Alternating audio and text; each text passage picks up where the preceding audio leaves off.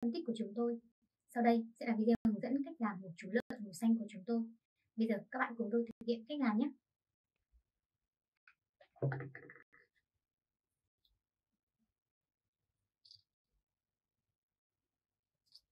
Rồi, sau đó thì mình sẽ um, dán những cái uh, phần này lại với nhau để tạo thành cái vòng tròn các bạn.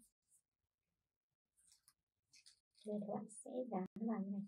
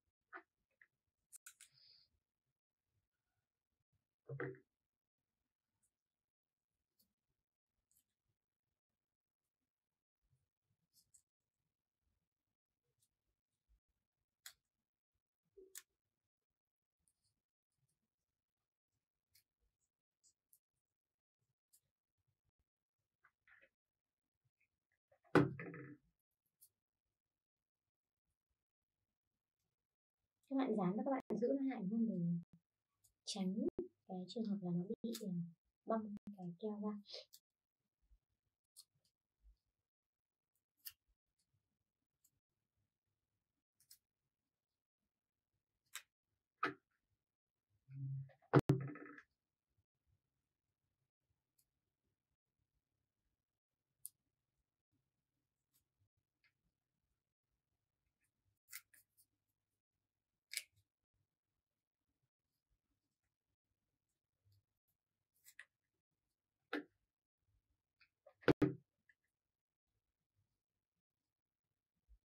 Rồi, đây sẽ là cái vòng tròn để làm cái phần thân của cái chú lợn này.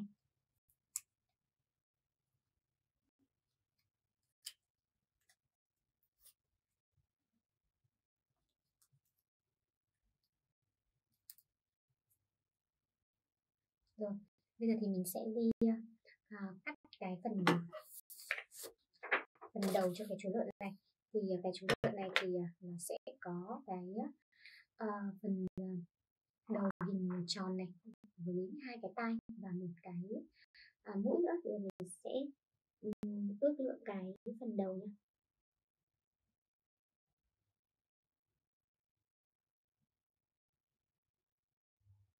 Các bạn vẽ cái phần đầu sao cho nó cân đối với cái phần thân ấy.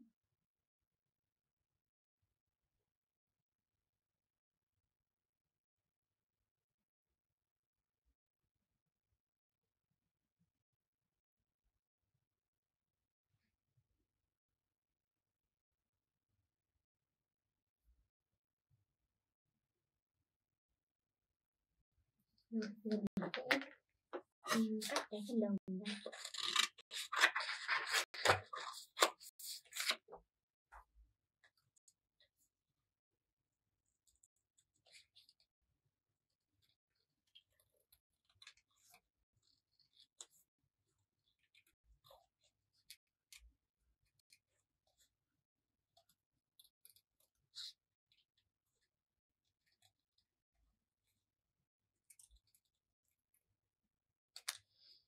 Rồi, các bạn sẽ thấy đây là cái đầu của cái chú lợn này. Bây giờ mình cắt cho nó một cái mũi nha. Cái mũi hình bầu dục nha các bạn.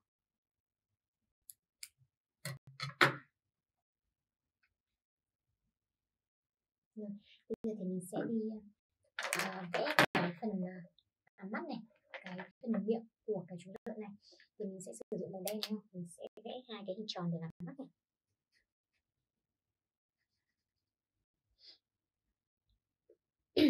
rồi à, cái miệng của nó thì ừ, nó sẽ có một cái đường cong thì mình sẽ vẽ cái đường cong từ bên này ra lên à, đây sẽ là cái miệng của nó đúng không? và tiếp theo thì mình sẽ à, vẽ cho cái chú lợn này cái à, mũi nó sẽ có hai cái lỗ mũi màu vàng các bạn. Mình tô vào đây.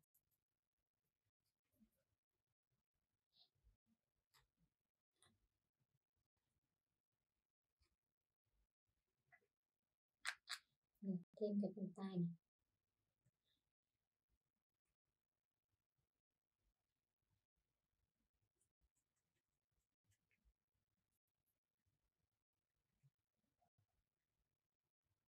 Thêm cho nó hai cái phần uh, má màu vàng nhé sau đó thì bước cuối cùng là mình sẽ dán cái phần đầu này đúng không? Mình sẽ dán vào giữa cái phần thân nhé các bạn sẽ chọn vị trí dán sao cho nó cân đối và phù hợp với cái phần ờ, uh, thân hình tròn này. Đây mình sẽ uh, dán ở cái góc giữa cái ừ, thân của nó như này và chúng ta đã hoàn thành xong số lượng này rồi. Hẹn gặp lại các bạn ở những video tiếp theo nhé. Các bạn vừa xem xong video phân tích của chúng tôi. Sau đây sẽ là video hướng dẫn cách làm một cây hoa của chúng tôi. Bây giờ các bạn cùng tôi thực hiện cách làm nhé.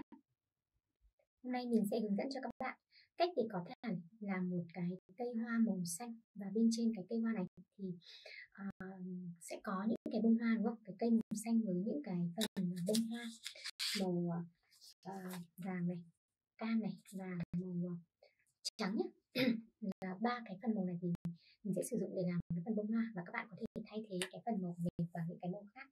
Hoặc là các bạn có thể uh, sử dụng thêm một số các cái phần ờ, màu màu khác để chúng ta sẽ làm cái à, làm cái phần bông hoa để trang trí đúng không? Tiếp theo thì uh, các bạn sẽ chuẩn bị thêm đó là cái cây màu xanh các bạn sử dụng cho mình cái phần uh, tờ giấy màu xanh lá cây như thế này nhá.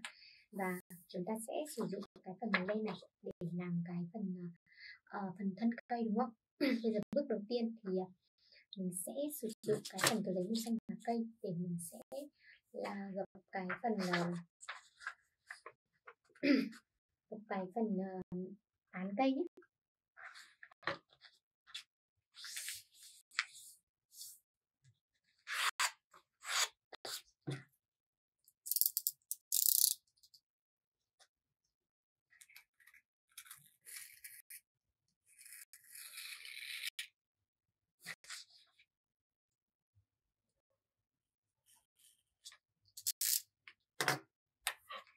đây các bạn chia đôi cái phần tờ giấy này ra và chúng ta sẽ ờ, uh, gập cái phần à, này vào tạo thành cái chiếc quạt tròn nhé.